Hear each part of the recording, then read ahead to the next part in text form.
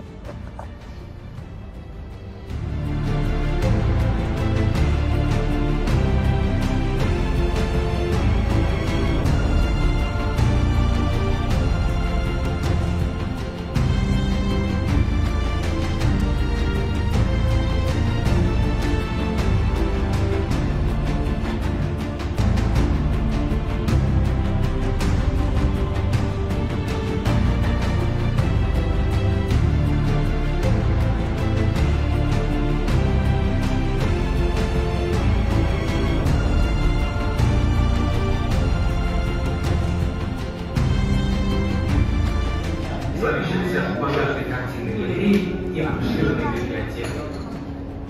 60-метровая Путинская башня является уменьшенной копией Эйфелевой башни. К ней вы можете подняться на рельсовом коридоре. Миссия Олега Васильевны на Краковке, Миссия Музеум Франца Кавки.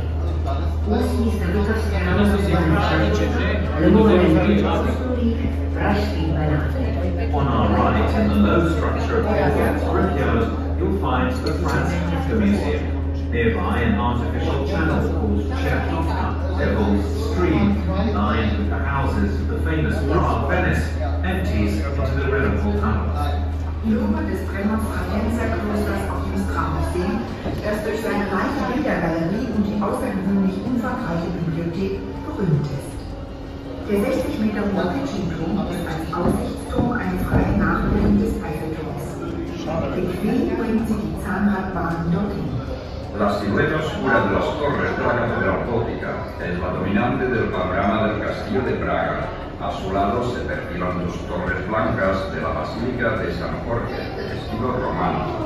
A la izquierda del castillo, al pie de la colina boscosa de Pecci, podemos ver la pareja de torres del monasterio premostratense de Strabo, famoso por su rica pinacoteca y una biblioteca extraordinariamente extensa. El mirador de Pecci, de 60 metros de altura, es una réplica de la Torre Eiffel. Ahí llegarán cómodamente el funicular. Le panorama du château de Prague est dominé par l'ensemble silhouette de sa cathédrale gothique. À côté, nous pouvons voir blanches de la basilique Saint-Jean, fondée dans le style roman. À gauche du château, derrière le parc de Latine, nous pouvons voir les tours de l'abbaye de Strauss. Érigées par des prémontrés, les colons pour sa pinacothèque et sa bibliothèque prestigieuse. La tour de de 60 mètres, est une version réduite de la tour Eiffel.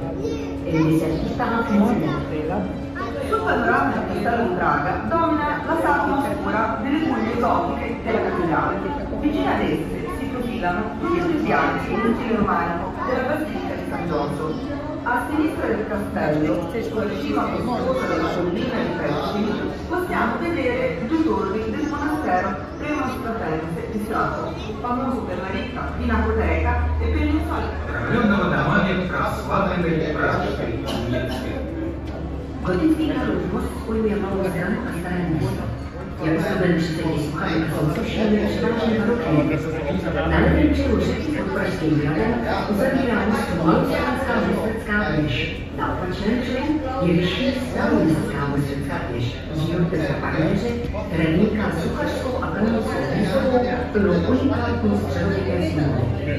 The Gothic-style Charles Bridge connects the lesser town with the old town. It's embellished with 30 mostly Baroque statues. On the river's left bank, underneath Prague Castle, the bridge passes under the lesser town bridge tower.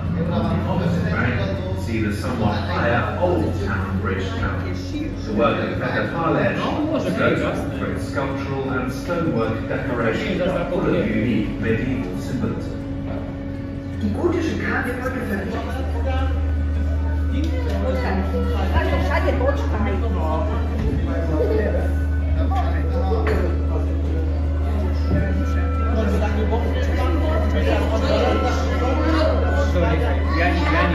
Добре, добре.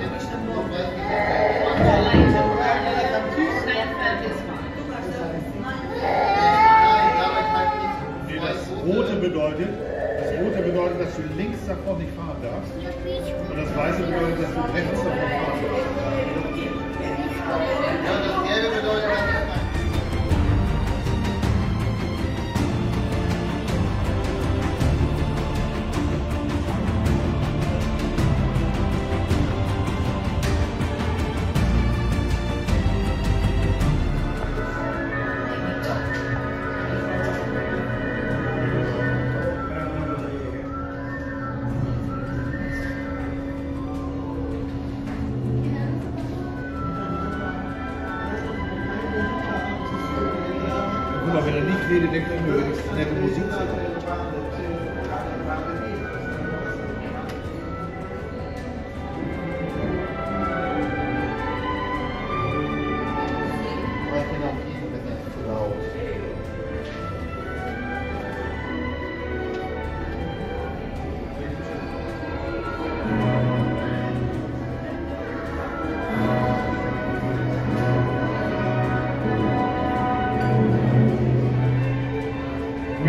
Straně leteckého parku se vyjímá pseudobarokní hanařský pavilon.